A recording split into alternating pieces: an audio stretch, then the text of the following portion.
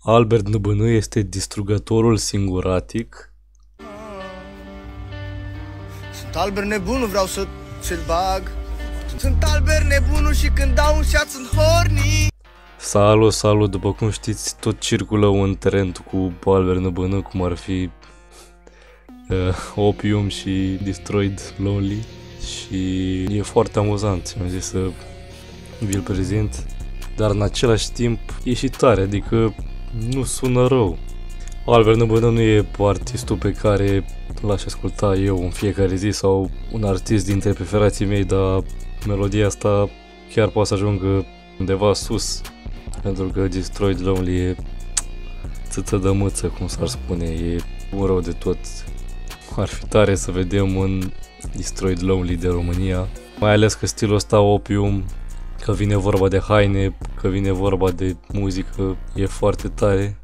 Cine știe, poate urmează să-l vedem pe NBN îmbrăcat opium și să scoată muzică opium ar fi foarte tare. Pe lângă că Albert este opium, mai este și Sigma. Hmm. Ia uite viața mea ce ți-am luat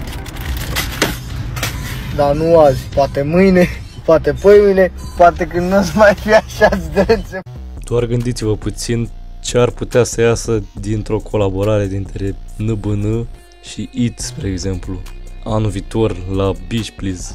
Eu zic că pf, ar bubui România pe bune. Chiar dacă trendul ăsta e o caterincă, cine știe acum, poate chiar devine ceva serios. Ceea ce not gonna lie, mi-ar plăcea. Deci, fratele nebună, dacă te uiți la clipul ăsta, eu zic să mă ascult și să te duci spre stilul ăla, că te prinde așa un pic. Hai că te prinde dacă e. Nu, nu prea îl prinde.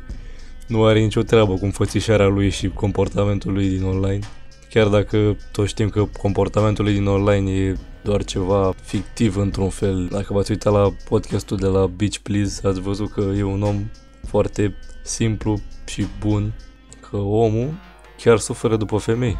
Cu mine, eu chiar sunt genul ăla de beat care când o fată își spune ofu sau suferă, gen, eu nu mă prefac cu ascult mm-hmm. ca să ajung la ea. Eu chiar o ascult. Și dai și sfaturi dacă e nevoie. Și dau și sfaturi. A, bă, și poate sunt fraier din punctul ăsta de vedere. Bă, da, eu așa sunt, eu nu pot să mă schimb. Bă, sunt foarte fraier cu fetele, de fapt. Deci faza cu Sigma e o caterincă și aia.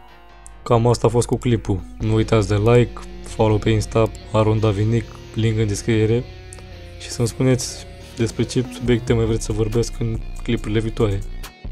Baftă băieți!